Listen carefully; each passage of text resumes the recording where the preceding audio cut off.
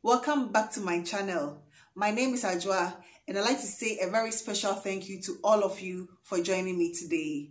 I have 10 amazing fragrances from Middle Eastern houses that have absolutely no oud in them. Most Middle Eastern fragrances are known for their strong, woody and oud vibes, but these ones are quite on the feminine, no oud, sweet, yummy sides. The very first one I have is called Ajwad. It is by Lattafa and it is known as a clone of Mancera's um, Roses Vanille. And it's also been compared to um, Delina because it has that lychee, rose, creamy, vanilla, fruity vibes. Ajwad is marketed as unisex, but to me it leans quite feminine. It is very delicious smelling. It doesn't have any oud or Middle Eastern vibes to it. It has just this sweet floral lychee vibes and that is all you get. So if you're looking for something that is um in the lychee family that gives you the delina or mancera's roses vanille vibe ajwad is one that i will highly recommend. Paris corner has come up with this amazing la nuit dupe. La nuit by lancome actually. And this is la nuit Pendora. This is quite a, a watered down version of um, La Nuit Tresor. It is in the same family. It actually has about 90% resemblance, but La Nuit Tresor is quite an, an evening scent and it sometimes comes across as, as headache inducing for me because it is very strong and um, it can sometimes be a little overwhelming. But this is like a watered down version of it which is perfect for everyday wear for work for office for errands. It makes it makes a perfect um, everyday fragrance. So if you don't have the, the means to get the La Nuit this is a perfect alternative and it has absolutely no oud in it. I had to bring this one. This is French Coffee by Al Rehab. It is a caramel, coffee, vanilla and chocolate scent. It is quite linear, very sweet it has no oud in it. So if you are not um, a lover of oud you would actually love this one this is unisex. It is just a, a coffee scent and it is great for layering.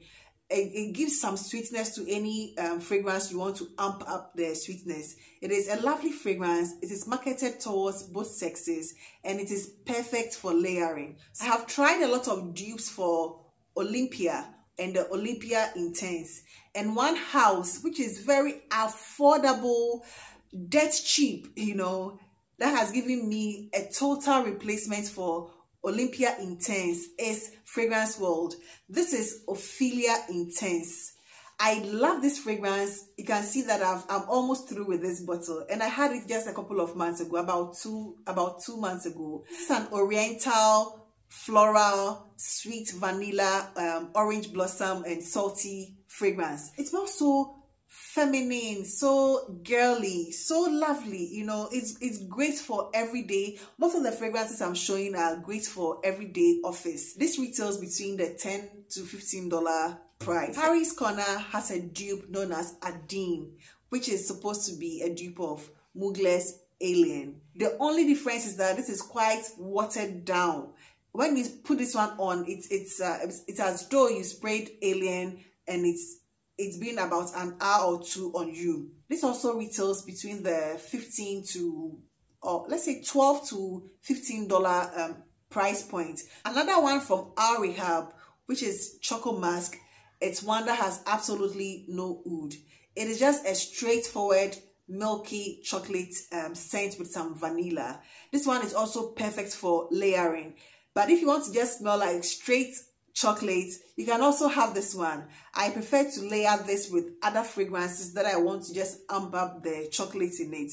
This one and um, French coffee is just a great combination. Just imagine chocolate and um, chocolate and coffee. They smell just delicious. So you can just try this one. It has absolutely zero oud in it and it is just sweet and delicious. I understand Marc Jacobs Decadence is discontinued. You don't need to worry because there is a perfect replacement for Marc Jacobs Decadence and this is Dolores by Fragrance World. This just gives me Marc Jacobs decadence. That plum, that saffron, that jasmine, that woods, and it has some a little bit smokiness to it.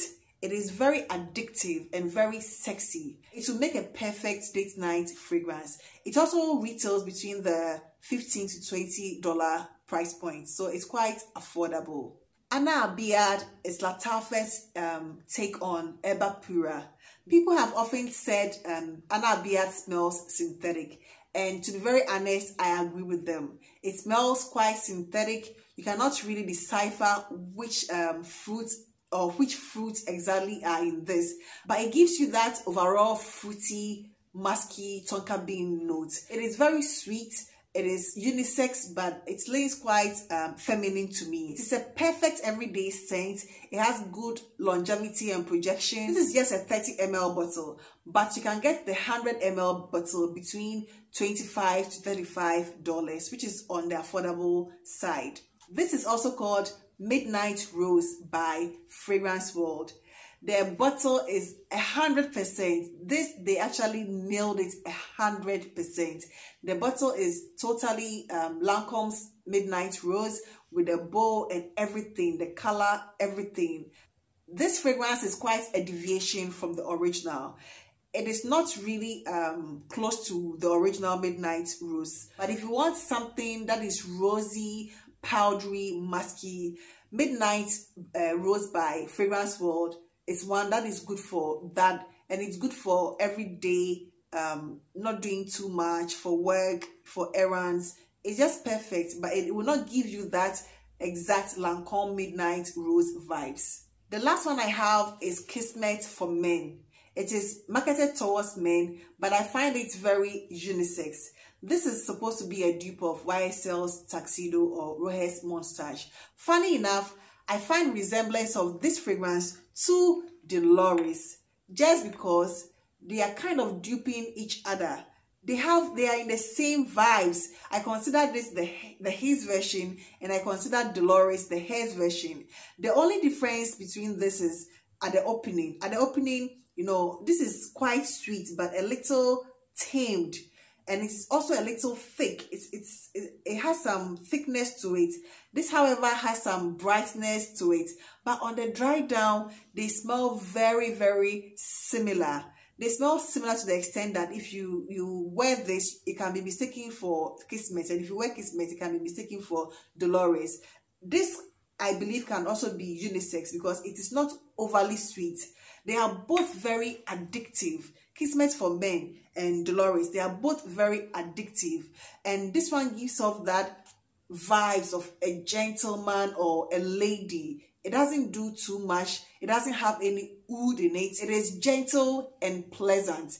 Most of the fragrances I reviewed today give this western vibe because they are duping a lot of the designer brands and they do not have any oud in it. So if you're someone who is scared to try middle eastern fragrances because you think um, they all contain oud these are alternatives that are delicious. They give you that feminine yummy vibes and they have zero oud so you would actually enjoy them. That is all i have for you today. I'm so glad you joined me today if you're a returning subscriber I say I appreciate your support and thank you. If you are new here, please consider subscribing. You can also press the notification bell so that you are prompted anytime I post a new video. Thank you and I'll see you in my next video. Bye-bye.